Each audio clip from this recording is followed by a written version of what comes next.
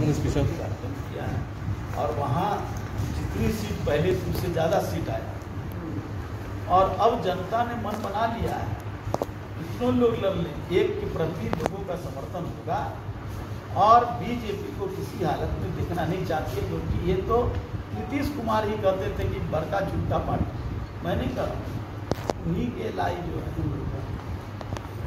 कह रहे हैं कि बड़का झूठा पार्टी। ये मेरा कहना नहीं है, उनका कहना और असेंबली के अंदर वो प्रोसीडिंग में बजाबता लिखा हुआ है। वो प्रोसीडिंग की बातें हटाई नहीं जा सकती। जो बड़का झूठा पार्टी को खुद कहे।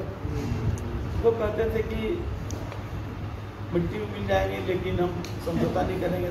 मिट्टी में मिल गए, समझौता कर गए तो यूपी हो या कहीं हो, अब बीजेपी को कोई हाँ अब आप कहेंगे, एक सवाल आप उठाएँगे, कौन नेता होगा?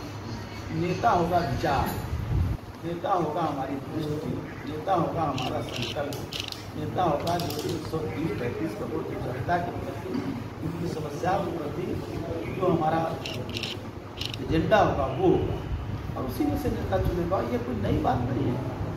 आप उन्नीस सौ सड़सठ को देखिए। कहा जाता था कि कांग्रेस के विकल्प कोई नहीं लेकिन ऐसी स्थिति आई, डॉक्टर लोहिया और उस समय के जनसंघ सब लोगों ने मिलकर के कांग्रेस को परास्त किया। ठीक है चली उन्नीस सौ सतहत्तर में फिर हुआ। उन्नीस सौ नवासी में हुआ बीपी सिंह हाँ? तो ये कहना कि बीजेपी का कोई विकल्प नहीं है। नेशनल क्या कर? रहा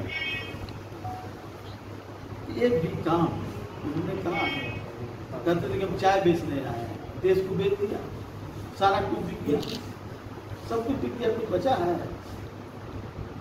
मीडिया तक आप लोग अन्यथा नहीं देंगे आपकी कलम कलम जो है उसमें ताकत अब बची है। उस ताकत इसलिए नहीं बची कि उसकी स्याही जो है और उसका नीब जो है वो दूसरे के हाथ में। आप चाह करके भी आप नहीं कुछ कर सकते अगर बहुत कुछ तो रवीश कुमार बन करके निकलना पड़ेगा, आपको खुद प्रसन्न वाजपेयी की तरह निकलना पड़ेगा या विशाल शर्मा की तरह निकलना पड़ेगा।